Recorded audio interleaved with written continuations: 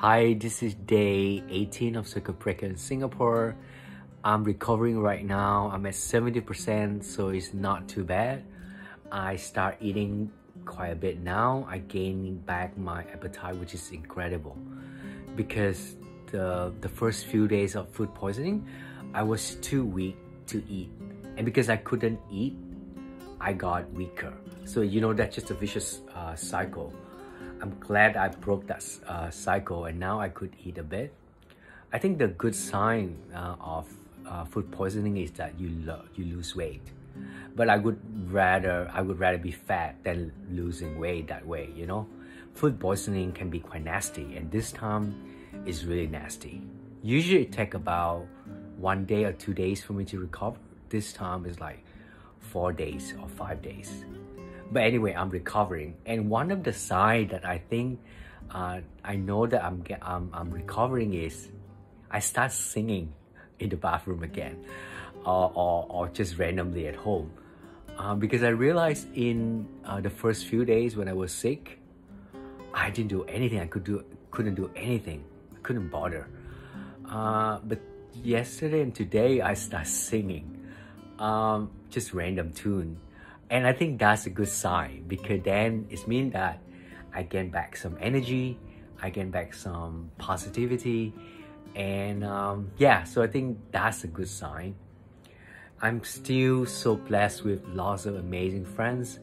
Yesterday, the friend who gave me porridge, uh, she made another dish, uh, fried pork with rice and some soup, delivered to my home. And then this morning, another friend, she made porridge with pork and she said this is good for people who got food poisoning. She's just poisoned with some love. uh, such a very sweet uh, and kind gestures. And I'm really, I really appreciate these friends because you know, friends can be always be with us when there's fun times. But these in these challenging time, these are the friends that matter.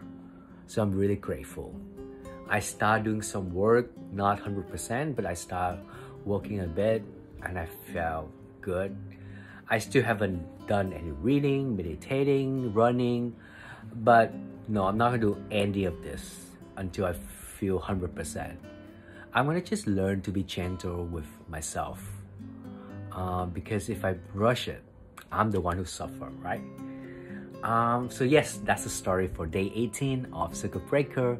Hopefully over this weekend, I can get fully recover so then next week I can do more things. But till then, I'm just gonna take it easy uh, to recover, eat more, get back some fat and weight.